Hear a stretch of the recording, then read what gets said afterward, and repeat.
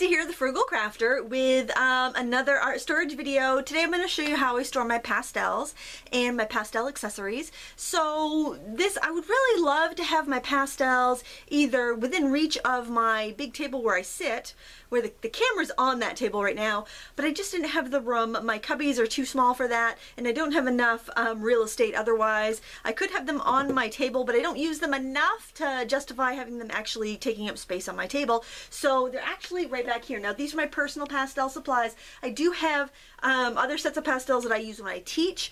Um, but I keep those separate because I'm likely to just grab that whole stack of pastels and go off to a class. I tend to like to use those when I'm like teaching a, um, you know, the getting, having like scouts get their artist badge or bring them to my art class at the library. Just, it's very quick, easy color. They're non-toxic. The ones that are in my teaching stash are non-toxic, whereas my personal pastels are not. Not all of them are. So I don't want to have to worry about a child using a cadmium pastel or something that could possibly um, have bad effects or allergic reactions or anything. So these little drawers here are nice. There's two sets, so each set has three drawers, and I picked these up, um, I think like Art Supply Warehouse or Jerry's Artorama. They're kind of a typical, I feel like I'm like a you know, chiaroscuro painting. I've got like half of my face is bright from that light, another half is dark. It's just this is not a best place to film, but I want to show you where I actually keep these. So anyway, these um, these drawers here are great because they're really shallow, and I separate my pastels by color, and these are like my loose open stock pastels. I took one set of the SMI or Sargent, which are actually, they're very cheap, they're very good. They're kind of like the, the uh, Marie's or the Charvin pastels that we've talked about before. You know, they use less expensive pigments, but as far as like creating artwork with them, they're fantastic. I don't know if they're to fade over time. Chances are they might, but as far as actually just creating art and enjoying it, they're just superb for that. So, you know, you don't have to get like $6 stick pastels to have fun. Then I have some Winsor Newton open stock um, which I somebody told me is discontinued. That they don't that Winsor Newton doesn't make pastels anymore. But so I have all those here. I also have some like Conte and NuPastel pastels open stock in there as well.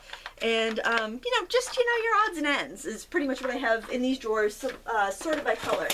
Now, um, I want to show you some other really interesting thing you can do with this set. These these drawers, I think they were like 20 bucks for that, and they're pretty. They're like beechwood and oak, I think. But Another thing that I would use some of these drawers for in the past were to store some of these um, either hand carved or very shallow stamps. I'm not going to keep these in here, but I wanted to show you that just in case you're you have a lot of these and that would be a good solution for you. You know, what the way I store my stuff may not be perfect for you, but you might get some ideas. By the way, I keep some things that would be perfect for something else you have. So, I mean, like this might be perfect for your colored pencils, depending on how many you have. It's just, um, it's nice to know what's out there so that you can have you can find what's perfect for you. We're all not going to have the same amount of stuff or um, want to store it the same ways, but it's it's good to have options. So this chest here is a beautiful set of Winsor Newton pastels that I got for Christmas one year. And then um, I've got this inexpensive set here, it's in a wooden box, and there's another smaller Winsor Newton set. And then up here, and I kind of debated whether I wanted to break these up and put them in the drawers, but I decided not to because I have the full set of 96 NuPastels, which are, these are good for like your first layers of a pastel painting because they're very hard and um, they don't lay down, they don't clog up the tooth very much because they're like drawing almost with a pastel pencil, but that's how they're arranged. They're in little plastic trays and they're, actually they're perfect like this, so there's no reason to take them out of the box. Um, except for the fact that I really need to use these more. Um, and then these are my absolute favorite pastels. These are by Schmincke, and they are the softest pastels I have ever used. And they're perfect for the last stages of a painting. Like I would use these um, when I'm just about done and I just want to put on some highlights or, you know, it feels like the, the tooth of the paper is almost all completely clogged and I couldn't possibly add anything else to it. But then if I go on top with this, I could still add with the Schminckes. They're just fantastic pastels. They're also very expensive, so I really wouldn't want to get those mixed up with the ones that I teach with because um, those get dropped and abused and used and, you know, I gotta keep those, gotta keep my precious separate. Um, oh, and I decided to take my um, my like the open stock watercolor crayons and uh, the portfolio oil pastels that were open that I had in that that kind of rack um, that clear rack. I decided to take them out and put them in here because I think it'd be more intuitive for me to just grab this out set it on my workspace while I'm working and then have that. And then any duplicate pen pastels pan pastels. I have in here just because it makes it makes sense for me to have those duplicates there and then have a little smattering of supplies if I wanted to take this upstairs to work and I've got some exciting news. The reason I changed over my painting area that I showed you the other day is because I took that drafting table, my husband, uh, it had like this contact paper on it. It was secondhand, it was given to me. I took the contact paper off and there was beautiful wood underneath. My husband sanded it down and stained it for me and it's going upstairs in our office so I'm going to have a warm space to work. I won't have to wear a jacket all day on those really cold days so I'm very excited for that. And I took my gelatos and gel sticks and I put them um, in here. This had stamps in it. I took the stamps out like I showed you in the other drawer because it's so cool. When I've been doing these videos for you guys and you've been asking to see these different parts of my room, sometimes I have to say, oh, they want to see that? Well, I really ought to um, do tidy that up a bit, do something with that because that's not ready for prime time, my friends. So it's really helped me get my act together as far as, you know, I always know where everything is, but you know, when I think about showing it to somebody else, I think, you know, if there's a better way to do that. And if I'm going to help you guys, I really want to make sure I'm doing it the best way. Um, and then I have my Pan Pastels, which I kind of want to get your opinion on this because I really enjoy these.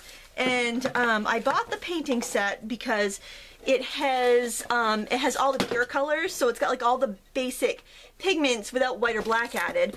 And then I, I got one of the mixed media kits, one of the Donna Downey kits. And then my husband got me the metallic and the pat and the uh, pearlescence.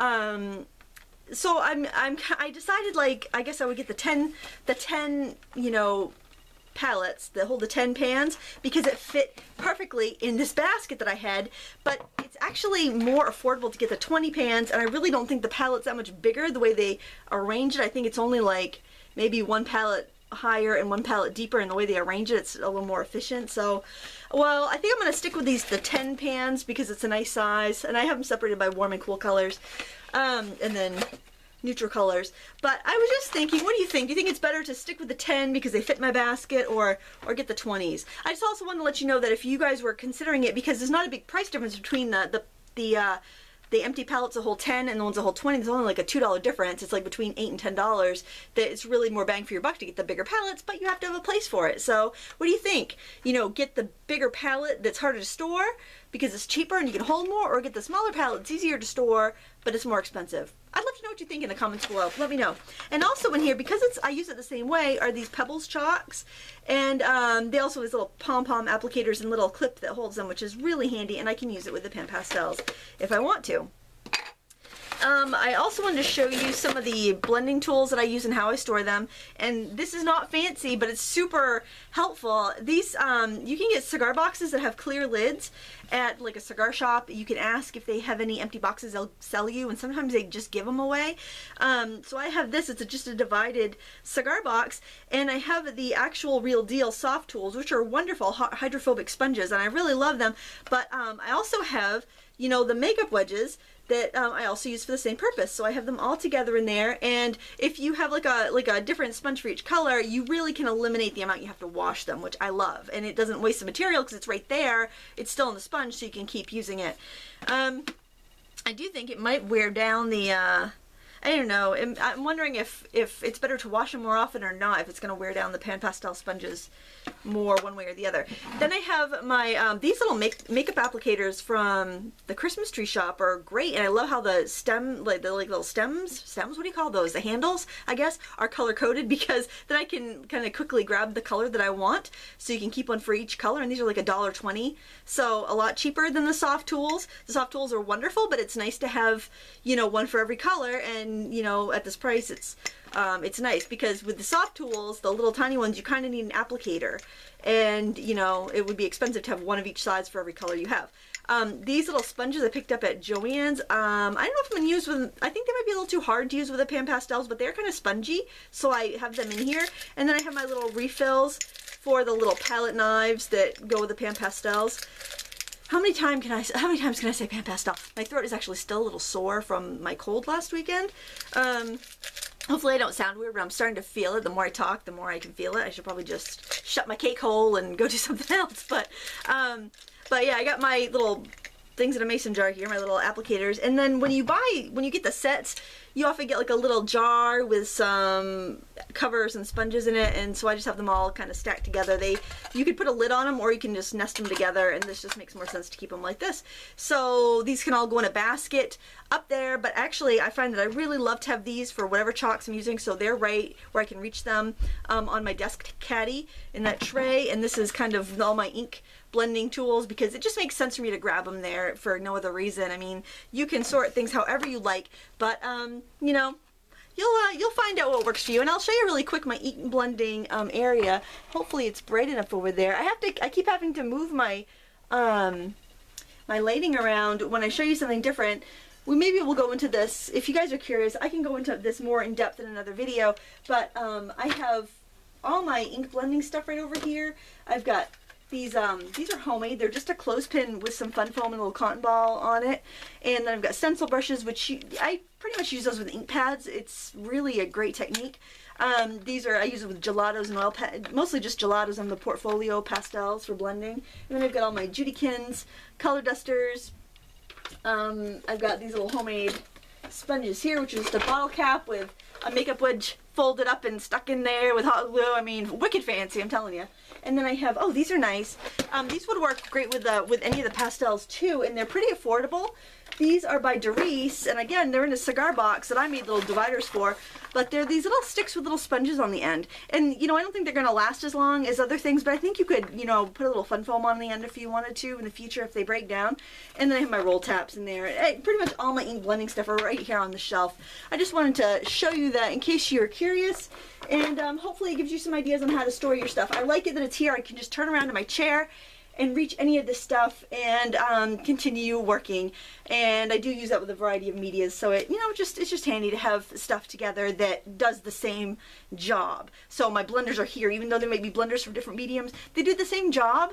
It makes sense to me to keep them there. Maybe it would make sense to you to keep them all together with the medias they go with it's all what makes sense to you and uh, like with like but however you choose to combine like items is completely up to you. I hope you found this helpful and not completely random and weird and um, if you're in the northeast and you're getting slammed with this huge blizzard i hope you're staying safe and warm with your loved ones and if you don't have power um, please reach out to a neighbor and you know don't don't go through it alone. Make sure if you need help you reach out and you get it. And please check on your neighbors especially your elderly neighbor neighbors and anyone that needs some help so that um, we can all get through this. We're gonna get two feet of snow in New England this weekend and I this week yes week it feels like a weekend because they've already canceled school for tomorrow. Um, so, and when this goes up, it'll probably be a couple days later, but I'm sure it'll still be in dig out mode. Um, but anyway, enough rambling. Please have a great day, and um, thumbs up and subscribe. Until next time, happy crafting.